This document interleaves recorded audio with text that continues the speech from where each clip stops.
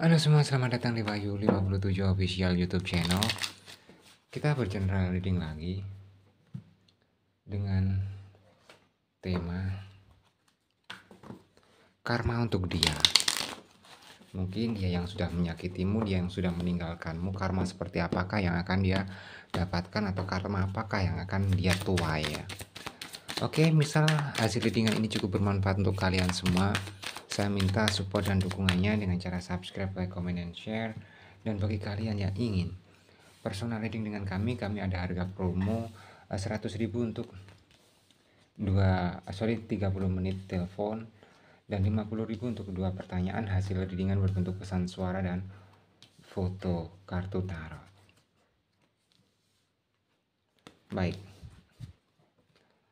Karma untuk dia yang menyakitimu nggak lain nggak bukan dia akan merasakan apa yang kamu rasakan tiga kali lipat. Kurang lebih seperti itu. Contoh kalau saat ini kamu itu menderita dia juga akan men merasakan sebuah penderitaan yang lebih dari kamu rasakan. Tapi kayak mungkin kayak gini ya untuk saat ini seseorang ini kayak masih masih bisa leluasa. Uh, contoh kayak dia punya inginan mau mau apa ya mempermainkan seseorang nih misal dia masih masih masih bisa gitu loh yang saya lihat. Kayak masih dia butuh masih punya sebuah keber, keberuntungan lah untuk saat ini. Tapi seiring berjalannya waktu itu kayak gini. Misal di asmara bagus nih. Merembet ke karir dia tuh kayak mulai kurang bagus mulai menurun. Nah jadi kayak gimana ya? Mungkin dia bisa bohongin kamu. Bisa sakiti kamu tapi dia tuh potensi ditipu oleh rekan bisnisnya, potensi nanti dia dirugikan oleh seseorang yang lain secara materi, itu besar kemungkinan. Dia kayak gini, dia suka nipu, dia akan tertipu, baca nipunya gini, dia 10%, 20%, 30% sampai katakan 50% dan bahkan dia nanti akan ditipu oleh seseorang yang tingkat kerugian untuk dia itu mungkin hampir 80%. Kurang lebih seperti itu. Dan pada ini kayak bertubi-tubi yang saya lihat ya cobaan dia nanti atau uh, karma dia nanti. Setelah dia hancur dalam hal karir itu kayak merembet hancur juga di dalam hal asmara. Yang di mana dia pikir sebelumnya asmara dia tuh kayak nggak nggak akan pernah gagal asmara dia nanti kayak nggak akan pernah uh, apa ya hancur itu nanti akan berimbas semua. Kayak itu tadi step by step gitu loh yang awalnya itu kayak apa ya? Nggak langsung semua terjadi dalam kehidupan dia enggak ya. Kayak bergantian. Ya silih berganti contoh kalau soal keuangannya dia mulai membaik nih misal ya setelah keuangannya terpuruk setelah keuangannya hancur uh, dia kayak mulai merangkak naik nih soal keuangan. Dia keserang lagi soal asmara dia. Dan kalau dipresentasikan lebih parah lagi dengan keuangan itu. Tingkat apa ya tingkat bahasanya tingkat kehancuran dia. Tapi sayangnya, sayangnya karena mungkin ini uh, ada kaitannya dengan tabiat dan karakter, dia nggak menyadari itu kalau itu sebuah karma. Jadi logikanya ya poinnya ya, biarkanlah karma yang berbicara terlepas dia sadar atau tidak, itu sudah apa ya hasil yang harus dia panen atau harus hasil yang harus dia tuai atas perbuatan dia selama ini ke kamu. Kenapa ini bisa terjadi bertubi-tubi untuk dia? Ya karena mungkin sebelumnya dia merugikan kamu secara perasaan materi itu udah banyak. Makanya dia saat ini dapat karma yang ia nggak main-main juga semesta kasih karma untuk dia.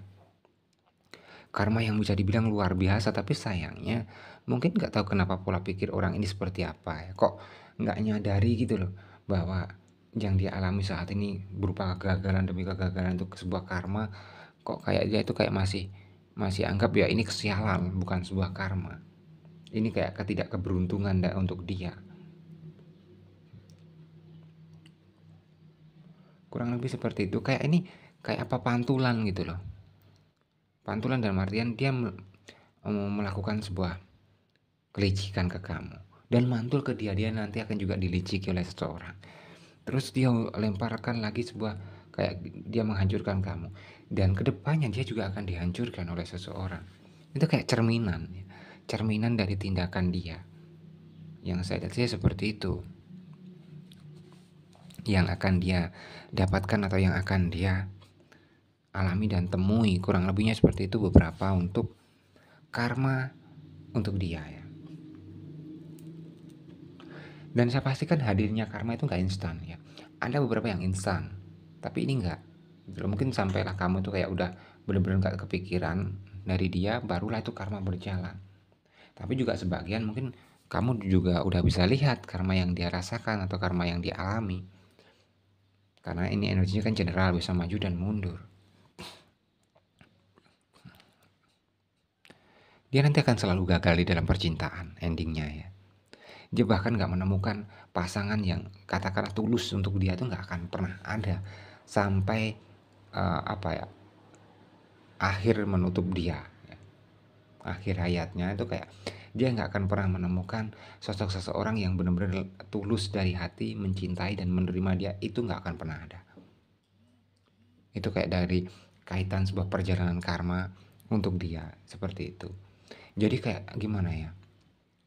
Misal yang dia lakukan tuh kayak versi dia tuh kayak nggak seberapa tapi yang nanti akan hadir uh, karma untuk dia itu kayak tiga kali lipat dari yang dia sudah lakukan. Karena ada pepatah gini, kalau kamu nggak mau dicubit, ya kamu jangan nyubit. Kalau kamu nggak mau dipukul, ya kamu jangan mukul. Nah, kurang lebih seperti inilah yang harus dia itu sadari. Kalau misalnya dia nggak mau disakiti, dia nggak mau hancur, dia dia dia jangan menyakiti dan menghancurkan orang lain. Ini kayak seseorang yang pernah ada kaitannya sama kamu ini energinya sangat-sangat toksik banget ya. Dia bukan seseorang yang yang terlahir baik itu enggak lah saya melihatnya. Dia seseorang yang memang saya bisa lihat itu kayak ya kurang baik atau bisa dibilang kayak ya memang orang buruk lah kurang lebih sih seperti itu yang saya bisa lihat atau yang saya bisa sampaikan untuk kalian semua.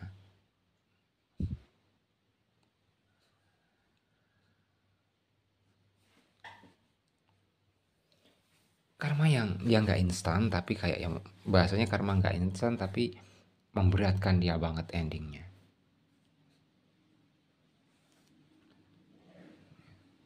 Ya ini pelajaran untuk kita semua lah ya. Kalau kita nggak mau mendapatkan kesulitan dalam hidup, kita jangan mempersulit orang lain atau kita jangan membuat apa ya kesalahan atau kejahatan bahasanya kepada seseorang yang lain. Kurang lebih seperti itu. Terima kasih banyak.